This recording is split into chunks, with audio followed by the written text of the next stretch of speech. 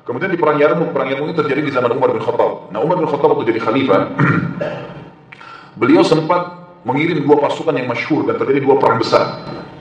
Perang Yarmuk ini pasukan yang menyerang pasukan Romawi, wilayah Syam, gitu kan. Nanti akan runtuh yang Palestina masuk Islam, gitu kan. Syria, Lebanon, ya Lebanon, ya, Jordania. Ini nanti negeri Syam akan takluk setelah perang Yarmuk nih, gitu kan. Pasukan yang kedua, dan ini juga termasuk pasukan yang menuju ke Yarmuk ini menaklukkan negeri Syam dan ada juga menaklukkan Mesir, gitu kan. Jadi wilayah Afrika dan wilayah utaranya Jazirah Arab, negeri Syam.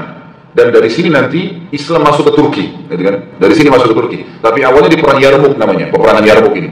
Itu Umar bin Khattab mengatur strategi perang dengan luar biasa, menyerang Jazirah uh, utara Jazirah Arab karena kalau selatan Jazirah Arab kan Yaman.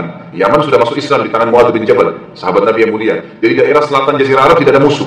Ya, gitu kan? Karena sudah laut lepas. Gitu. Yang ada adalah wilayah timurnya Jazirah Arab, Asia Tenggara, ya Irak, Iran, Afghanistan, Cina sampai kita di Indonesia ya. Gitu kan? Itu semua di, dianggap wilayah timurnya Jazirah Arab dengan wilayah utara dan wilayah baratnya, Afrika dan negeri Syam. Maka Umar bin Khattab mengatur strategi membagi dua pasukan. Pasukan yang pertama dipimpin oleh Amr bin As menuju ke Mesir dan juga negeri Syam. Dan nanti akan terjadi perang Yarmouk. Pasukan yang kedua itu menyerang daerah timurnya Jazirah Arab. Mulai Irak, Iran, Afghanistan, Rusia, semua itu disisir. Dan dikenal dulu dengan negeri Persia. Di sini ada perang Qadisiyah namanya. Ada dua perang. Ini jangan dilupain namanya. Perang yang luar biasa. Perang Yarmouk dan Qadisiyah. Perang Yarmuk ini ya, dihadiri oleh Zubair bin Awam. Sebagian ahli sejarah mengatakan setelah Yarmuk berhasil menang, Zubair menyusul ke Qadisiyah. Gitu kan. Dua-dua peperangan dihadiri, tapi luar biasa nih. Perang Yarmuk ini dan perang Qadisiyah perang terbesar dalam sejarah Islam karena jumlah muslimin yang dikirim oleh Umar bin Khattab bersama Amr bin As 4.000 orang. 4.000 orang. 4.000 orang ini akan menghadapi pasukan Romawi di negeri Syam 250.000. 250.000 orang, gitu kan? 4.000, gitu kan? Ini luar biasa ya. Tidak ketemu jumlahnya. Sekali lagi ya, 250.000 ketemu dengan 4.000, gitu kan? Jadi ini kurang lebih satu setengah persen dari jumlah pasukan musuh. Bukan 10 persennya ya, karena kalau 250 ribu, 10 persen berarti 25 ribu kan. Ini 4 ribu saja, cuma satu setengah persen dari jumlah pasukan musuh, pasukan muslimin berangkat ke sana. Waktu Amr bin As, radhiyallahu anhu melihat, kayaknya Mesir sama Yar, e, negeri Syam ini susah ditembus dengan 4 ribu orang. Gimana caranya? Lihat kekuatan musuh, mata-mata rumah sudah sana sini, lihat ini nggak bisa nih. Ini negara besar ini, bukan main-main. Mesir kalau tembus, Afrika semua bisa takluk. Kalau Palestina takluk, semua negeri Syam, bahkan Turki bisa takluk, gitu kan? Maka ini pintu yang harus hati-hati. Amr bin As terkenal sekali dengan kejelian dalam strategi perang. Maka beliau kirim surat kepada Umar. Ya Amir Mu'minin begini kejadiannya. Tentu kita sudah tahu di awal-awal kisah Umar yang saya sampaikan. Unik semua kisah Umar adalah luar biasa gitu. Umar bin Khattab mengirim karena Amr bin As bilang ya Amir Mu'minin kami kayaknya tidak bisa melawan dengan 4000. Tolong kirim kepada kami bala bantuan. Minimal, minimal memenuhi apa yang telah Nabi SAW janjikan. Karena ada hadis Nabi bunyinya apa? Umatku yang terkumpul 12 ribu orang, pasukan jihad ya, tidak akan pernah terkalahkan. Hadis Nabi. Jadi selalu sahabat jadikan patokan 12 ribu, 12 ribu. Kalau sudah 12 ribu sudah pasti menang gitu loh. Asal semua mujahid itu janji dari Nabi SAW gitu kan. Maka Amr bin As ingin mengejar target itu. Gak usah lebih dari 12 ribu. Walaupun pasukan lebih banyak, 12 ribu. Nabi sudah janji itu. Kirim surat kepada Umar. Apa yang terjadi? Umar bin Khattab menemukan di Madinah nggak cukup pasukan. Mana caranya kirim? Ini sana 4.000 kirim 8.000, 8.000 nggak cukup di Madinah. Apa yang terjadi? Umar bin Khattab mengirim 4.000 orang. 4.000 orang ini pun diiklanin ini siapa yang mau jihad ke sana? Gabunglah semua sisa masyarakat Madinah 4.000 orang. Lalu Umar bin Khattab mengirim bersama 4.000 itu empat orang, gitu ya. 4 orang. Lalu menulis surat kepada Amr bin As.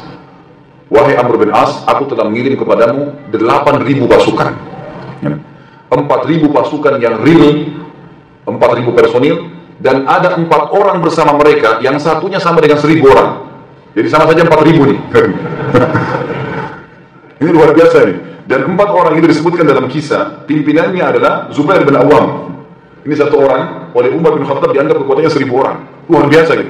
Ada pasukan banyak 1.000 tapi malas, takut, pengecut, suruh naik benteng gak mau malam-malam gak mau perang takut begitu jihad sembunyi di bawah kolong kayak sebagian orang Allah alam siapa ini tapi begitulah. Tapi ini Zubair bin Awam, apa titah jihad langsung di depan. Ini bukan sembarangan orang seperti ini luar biasa.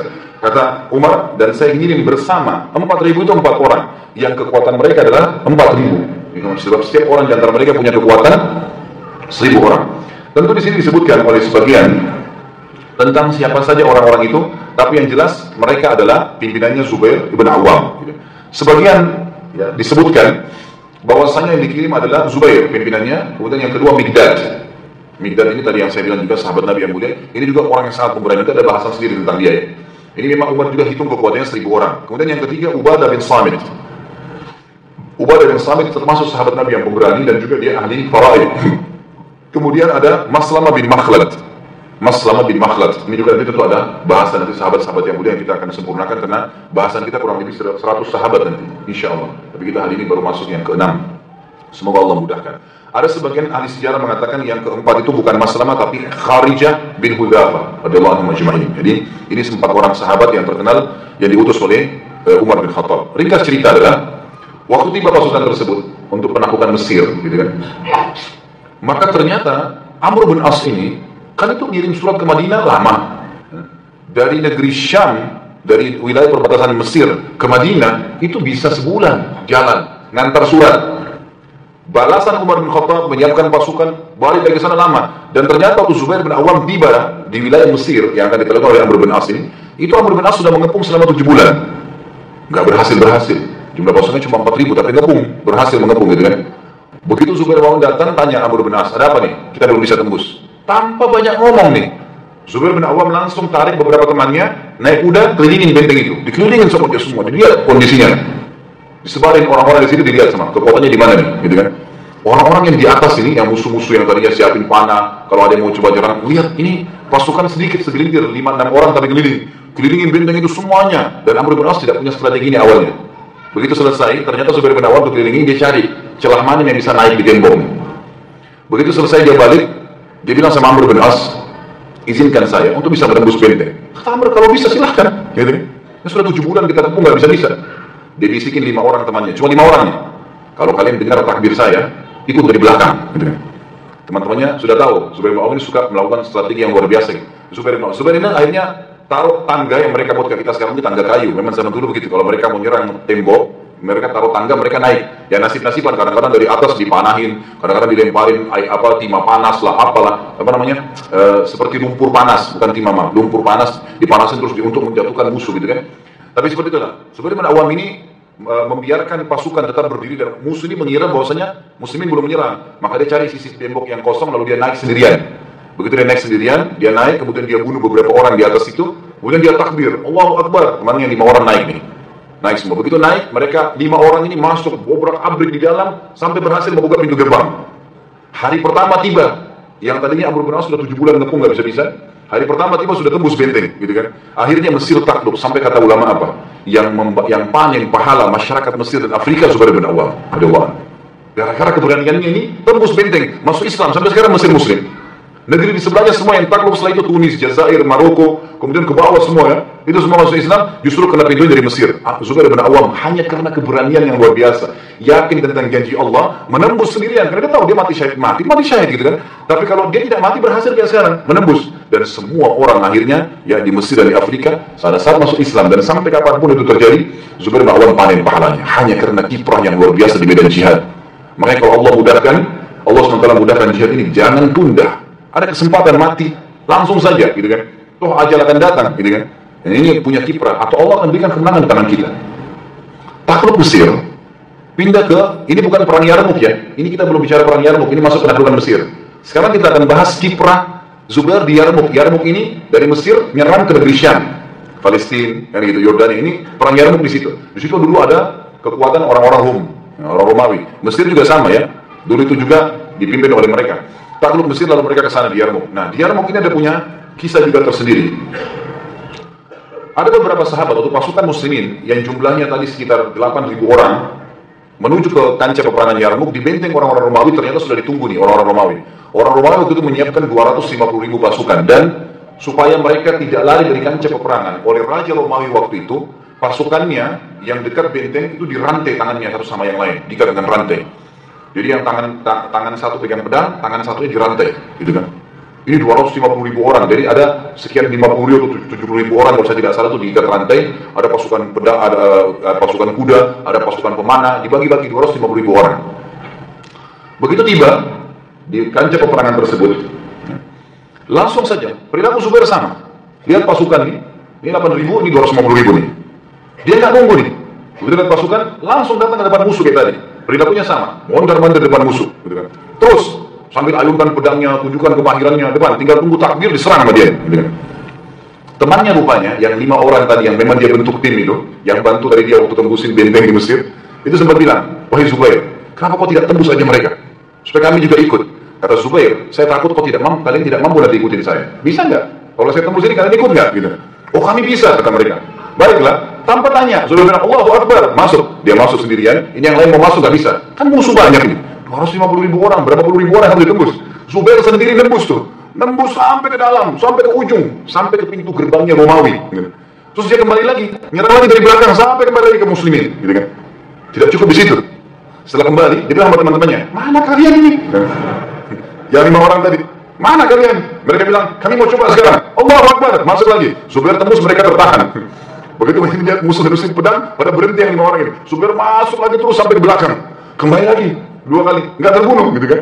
Sampai waktu dia mau keluar yang kedua kali, dipegang tadi kakinya oleh musuh-musuh dikeroyokin sampai ada yang tebasin pedang. Nah di sini dia sempat kena tebasan pedang di pundaknya tadi kita bahas ada tiga tebasan besar di pundaknya yang sampai anaknya Zubair, uh, anaknya Urwa mengatakan kalau saya masukkan jadi saya bisa masuk ke dalamnya dua di Badar dan satu di Yarmouk di perang ini, itu kan ditebas. Tapi dia tidak mati, radhiyallahu Tapi seperti itulah kiprahnya, sangat luar biasa. Dan ternyata perilaku Zubair yang dua kali menembus itu betul-betul mematahkan semangat orang Romawi, gitu kan. Ini satu orang begini gitu. Dan itu kelihatan di kancah peperangan kan satu orang. Ini belum yang lainnya nyerang, baru ini saja sudah begini. Padahal memang ini cuma satu orang barangkali. Tapi seperti itulah, satu orang aja begini apalagi yang lainnya. Dan ini subhanallah dalam strategi perang memang begitu ya. Sedikit saya berikan nanti ada kisah dari Abu Ayyub Al-Ansari radhiyallahu Abu Ayyub Al-Ansari ini umurnya panjang.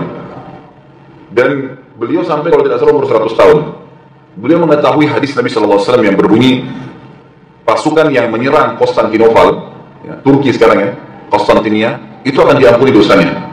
Maka setiap ada penyerangan, pasti Abu Ayyub mau ikut. Pas di zaman Yazid bin Muawiyah, khalifah kedua setelah Umayyah, di dalam dinasti Umayyah, setelah ayahnya mati Muawiyah bin Abi Sufyan radhiyallahu anhu, maka Yazid bentuk pasukan dan Abu Ayyub ikut. Abu Ayyub itu umurnya sudah 100 tahun. Pas sudah depan benteng, gitu kan? Besok mau menyerang ini, Abu Ayyub bilang sama Yazid, "Wah Yazid, saya sakit nih, saya rasa sakit. Kalau saya meninggal malam ini, Jangan kubur jenazah saya kecuali depan benteng mereka. Di sana kubur saya, jangan di sini. Kalau saya mati bawa jenazah saya pikul, perang. jenazah pun dipikul. Gitu. Pokoknya kubur saya di depan pintu gerbang mereka. Gitu. Maka kata Yazid, baiklah. Ini kan kalau meninggal. Gitu. Ternyata betul meninggal pada malam itu. Waktu meninggal malam itu, Yazid jalankan wasiatnya. Kan pasukan mau nyerang nih. Pokoknya nanti kalau sudah berhasil sampai depan benteng, terkubur di situ. Walaupun tidak menang. Gitu. Dikafani, dibungkus, kemudian dipikul. Ternyata, subhanallah, hikmah yang luar biasa Waktu pasukan muslimin sebelum menyerang, jenazah Abu Ayyub ditaruh di bagian depan dipikul sama sebagian orang, gitu kan? Yang satu pegang pedang, satu pegang pikul jenazah. Ada mata-mata musuh dari Konstantinopel lagi masuk, pakai baju umat Islam masuk, milik. Terus dia tanya sama orang di situ, itu siapa itu? Jenazah siapa? Ini dikira orang muslim, dari mata-mata. Kata si muslim, itu Abu Ayyub al-Ansari, sahabat Nabi. Kata si mata-mata ini, kenapa kok tidak dikubur? Dia bilang tidak, dia mau dikubur di depan benteng sana. Mata-mata ini pulang sampaikan ke. Ini yang kita lawan pasukan gila nih. Orang matinya aja mau berperang, apalagi orang hidupnya. Luar biasa ya. Jadi peran-peran seperti ini ternyata keberanian yang luar biasa. Karena tahu janji Allah, luar biasa nih. Membuat penyebab kemenangan gitu kan. Dan memang itu memang memang dibutuhkan. Jadi keberanian yang seperti yang dibutuhkan. Bukan berani nampar istri, bukan berani mukul-mukul orang kalau lagi utang, bukan itu. Di kancah peperangan, gitu kan. Bukan sombong karena atasan pada bawahan itu tidak ada dalam Islam. Tapi yang benar itu di kancah peperangan tunjukkan di jalan Allah Subhanahu wa taala untuk mata untuk mati syahid. Itu pelajaran yang besar sekarang. Para sahabat mengatakan Zubair benar-benar adalah seorang kesatria yang mengagumkan. Saat sahabat-sahabat lain menahan diri dan mereka tidak kuasa untuk menembus, maka Zubair menembus semuanya. Tidak ada yang tidak menembus oleh Zubair radhiyallahu. Dan dia tidak pernah merasa takut sedikit pun pada saat menembus musuh-musuh tersebut. Al-Hafidh Ibn Kathir mengatakan rahimahullah dalam buku sejarah beliau, Az-Zubair berangkat ke Syam sebagai mujahid. Dia ikut dalam perang Yarmuk sehingga kaum muslimin merasa bangga dengan kehadirannya. Di sana dia membukukan kepahlawanan yang cemerlang dan semangat juang yang tinggi. Dia menyusup ke barisan tentara Romawi dua kali dan memporak-porandakan mereka dari awal sampai akhir sendirian. Kayak tadi saya berikan gambaran, luar biasa orang ini. Radhiyallahu anhu. Semoga Allah berikan kita seperti beliau ya. Ini orang yang luar biasa.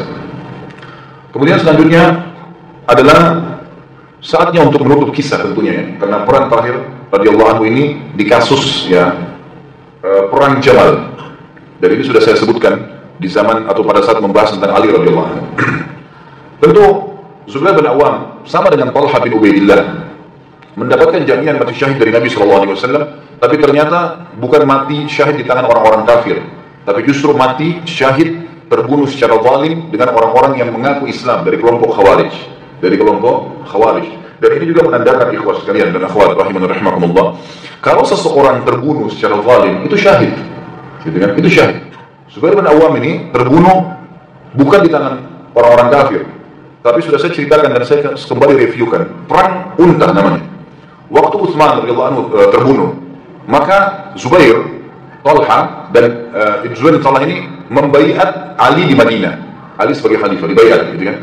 Lalu Zubair sama Talha ke, ke, ke, ke Mekah. Mereka mau umrah waktu itu. Lalu mereka bertemu di sana dengan Aisyah radhiyallahu anha, istri Nabi sallallahu alaihi wasallam.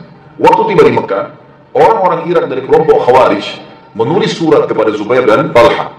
Kalau kalian adalah sahabat-sahabat Nabi yang mulia, datanglah kepada kami di Irak kami juga termasuk tidak setuju dengan terbunuhnya Utsman bin Affan. Padahal yang nyurat kepada Zubair dan dan Talha ini adalah kelompok yang membunuh Utsman. Jadi mereka merekayasa keadaan itu, gitu kan? Karena memang di Irak itu banyak muslimin, maka pergilah kata Talha dan Zubair kepada Aisyah, wahai ummul mukminin, bagaimana kalau Anda juga ikut ke sana? Kita melihat uh, keadaan muslimin di sana yang memang masih menuntut dalamnya Utsman. Mungkin kita bisa minta kepada Ali khalifah untuk menangkap pembunuhnya Utsman. Tiga pun sepakat pergi. Di tengah jalan, di sebuah wilayah, tapi saya tidak terlintas sekarang nama wilayahnya, itu sempat mereka istirahat dan di malam hari kemahnya Aisyah radhiyallahu dikerumuni oleh anjing, gonggongan anjing.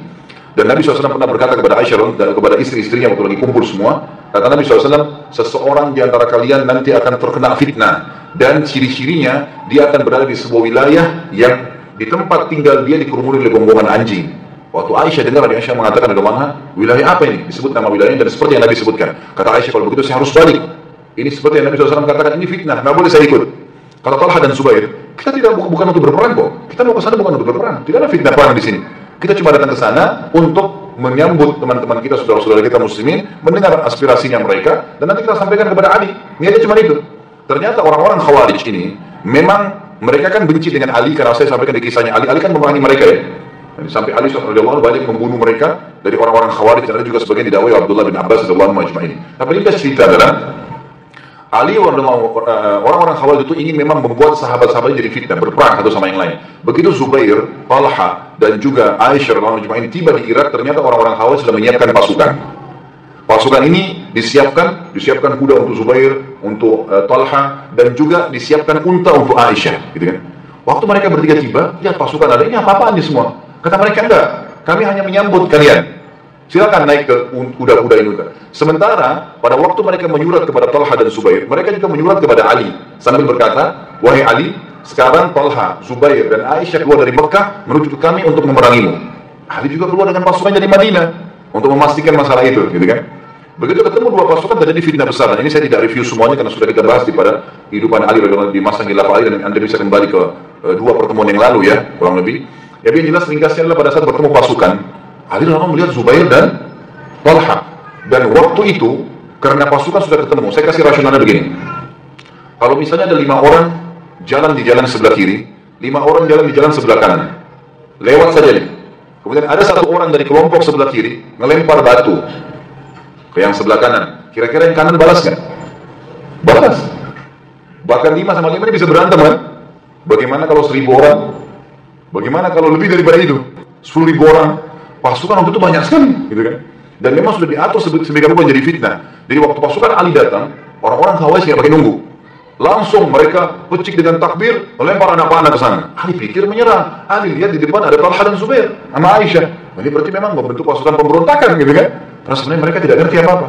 Maka Ali radhiyallahu anhu dengan kecerdasannya juga langsung mendekati Talha dan Zubair di kancah peperangan.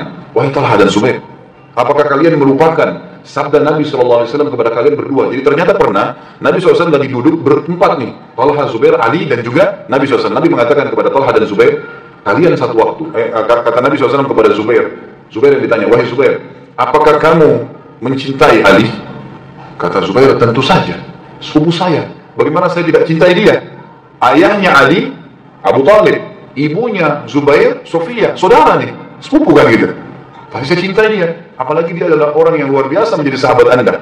Kata Nabi SAW, ketahuilah, satu waktu nanti kau akan bertemu dengan Ali di kancah peperangan dan kau dalam keadaan zalim. Jangan ikut-ikutan. Kata Ali, ingatkah itu Zubair? Yang Nabi bilang, kata Zubair, iya. Dan saya tidak niat untuk berperang sebenarnya, kata Zubair. Maka Zubair mengatakan, Talha keluar. Talha ini teman dekatnya, kita keluar dari kancah peperangan. Jangan ikut-ikutan.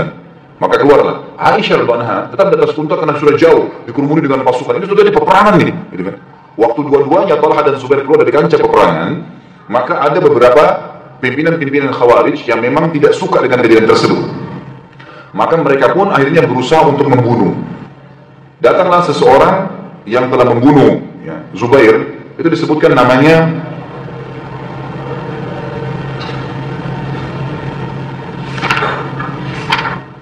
kalau tidak salah Ibnu Jurmuz ya saya lagi cari dulu iya Ibnu Jurmuz betul jadi yang membunuh dia adalah Ibnu Jurmuz ini salah satu pimpinan dari orang Khawarij yang datang waktu lihat Zubair sudah menyingkir ke samping lagi ngobrol sama Ali sama Talha dia datang dari belakang kemudian ditusuk langsung Zubair ditusuk langsung Zubair bin Awam dua kali dan Zubair mati Kemudian Talha yang sudah kita bahas juga beberapa yang lalu dipanah juga oleh seorang khawarij yang akhirnya mati, gitu kan? Tapi Ali mereka tidak berhasil bunuh. Ali tidak berhasil mereka bunuh. Ringkas cerita pada saat keduanya telah terbunuh Zubair dan juga ya, e, Talha, maka Ali radhiyallahu anhu menangis pada saat itu.